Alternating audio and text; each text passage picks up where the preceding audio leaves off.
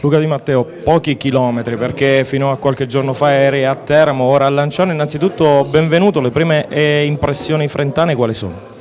Grazie per il benvenuto, Ma le prime impressioni sono molto positive, eh, diciamo che la maggior parte del gruppo li conoscevo già e quindi mi sono subito trovato diciamo, a mio agio.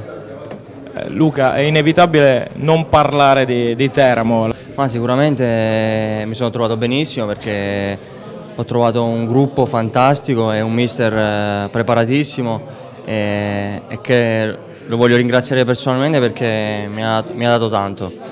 E, niente, la situazione eh, praticamente avete visto anche voi, eh, non è stata delle migliori, abbiamo fatto un campionato strepitoso, abbiamo stravinto, però purtroppo la giustizia ha tolto tutto quello di bello che avevamo fatto. E questo ci ha, ci ha, rammaricato tanto e, e, non è stato nemmeno facile lavorare un mese in ritiro con, con questo pensiero che andava sempre alle cose extracalcistiche.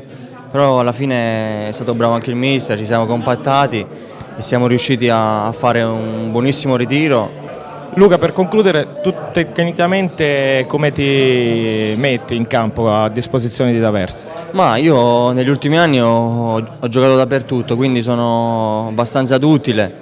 Eh, mi metterò a disposizione del mister e dove deciderà di, dove mettermi giocherò.